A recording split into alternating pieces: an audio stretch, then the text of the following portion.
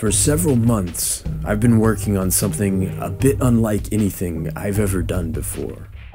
I've been painstakingly reconstructing a member of one of the weirdest, most specialized, poorly understood, and often inaccurately depicted groups of animals in the fossil record. And it's finally complete. I'm excited to announce that I've been working with the National Aviary in Pittsburgh to create my very first life-sized paleo art sculpture, a pterosaur called Caiuajara. This sculpture was created and recently installed for their new exhibit called Living Dinosaurs, which explores the connection between birds and their prehistoric relatives. The focus of the exhibit is on eggs and babies and explores the numerous parallels in reproduction and parenting behavior shared between birds and their nearest relatives, the non avian dinosaurs. Now, Caiuajara is not a dinosaur. It's a pterosaur. And although pterosaurs were flying around with wings, they are only really distantly related to modern birds and the non bird dinosaurs that birds evolved from. But dinosaurs and pterosaurs, and even crocodilians, all share a common ancestor way, way back in the Triassic period, somewhere around 240 million years ago. This huge, diverse group that includes dinosaurs and pterosaurs and everything related to crocodilians are all referred to as archosaurs. Pterosaurs are really interesting among the archosaurs because they're the first vertebrates to evolve powered flight. Their fossils indicate that many of the traits we associate with birds, such as egg laying in nests and complex parenting behavior, and perhaps even early plumage, go all the way back to the base of the Archosaur family tree. Only recently have fossils shown us that many of these traits were common to dinosaurs as well, and have thus clearly established the connection between theropod dinosaurs and modern birds.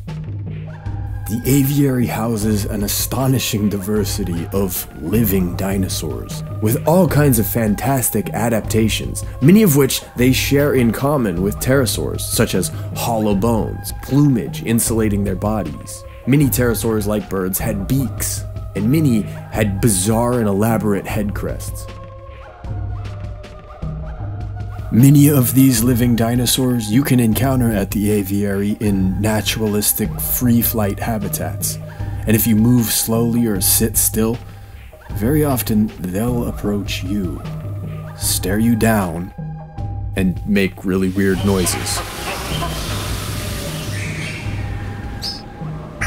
But the aviary doesn't just have birds, they have a few other animals too, including a group of flying foxes.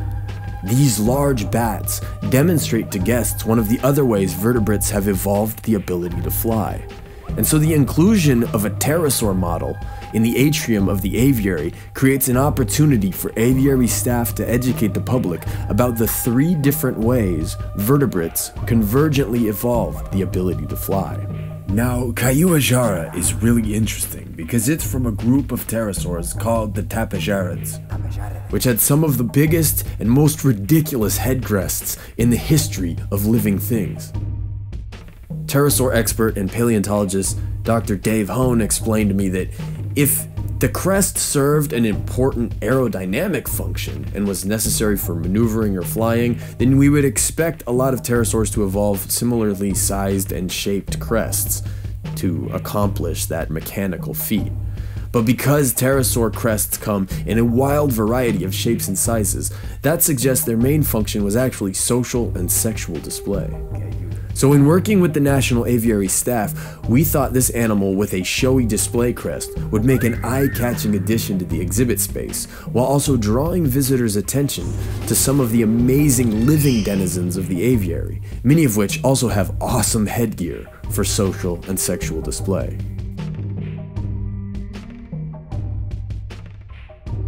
One of the other fascinating things about Caiuajara is that unlike many pterosaurs, which are only known from a few fossils, it is known from hundreds of fossils from dozens of specimens of various ages.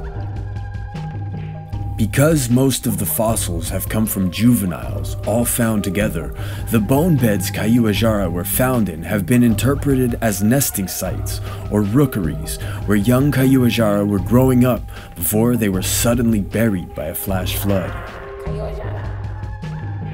While visiting the National Aviary to install the sculpture, I was struck by how perfect it is to exhibit dinosaur fossils in this context at the aviary.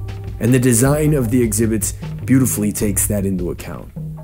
Because at the National Aviary, the concept of extinction isn't just an abstract idea that affected some far off animals in deep time. It's something they're working tirelessly against every day.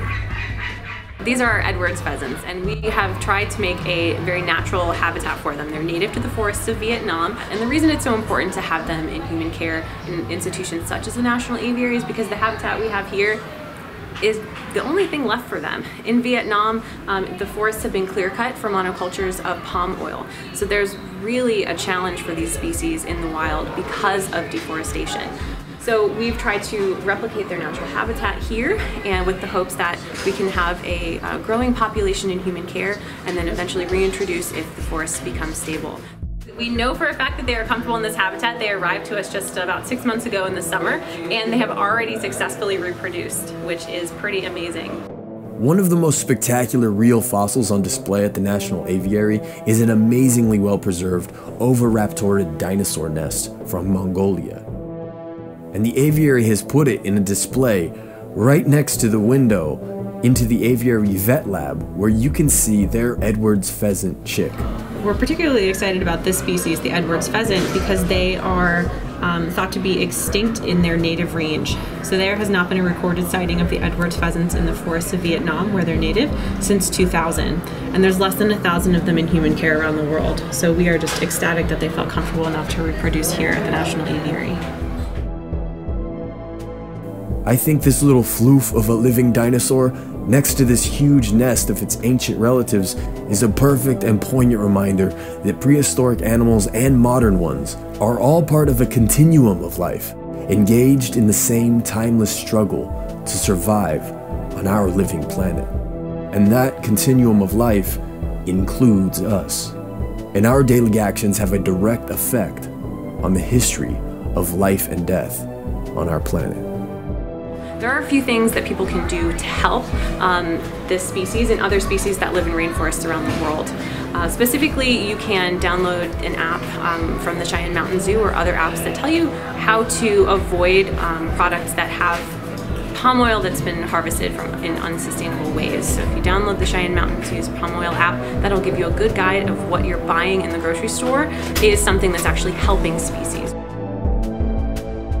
If you're near the northeastern United States, I hope you'll make the migration over to the National Aviary in Pittsburgh to explore the amazing naturalistic habitats inhabited by living dinosaurs and wonder at the fossils of their ancient relatives displayed right alongside them, along with some really great pieces of paleo art by a number of great artists, including Luis Rey, Gary Staab, and others. Needless to say, I am super excited to be a part of this exhibit and to have my Caiuajara sculpture in such good company. And I owe a huge thanks to the National Aviary staff who made this project happen, especially Jennifer Torpie, Cheryl Tracy, Tricia Oneal, Carly Morgan, and Robin Weber. Also, a big shout out to Alanna Regester at Silver Plume Exhibitions for the amazing work on the rest of the Living Dinosaurs exhibit. I'm also indebted to the paleontologists who advised on this tricky reconstruction, especially Dr. David Hone and Dr. Michael Habib, who really explained a lot of the nitty gritty details of pterosaur anatomy and aerodynamics when creating this sculpture. And finally, a big ups to paleontologist Paulo Manzig and his co-authors for making the paper describing the Caiuajara bone beds open access. A link to that paper so that you can read the science for yourself is in the description of this video. This video was made possible by my supporters on Patreon. To support my art directly and make other videos about the science and technique of creating paleo art and other projects, I hope you'll consider making a small monthly pledge on patreon.com slash historian himself, which will also get you access to a bunch of behind the scenes material, including the making of this pterosaur sculpture. As always, to see more of my art, music, and filmmaking, visit my website, don'tmesswithdinosaurs.com. Thanks for watching.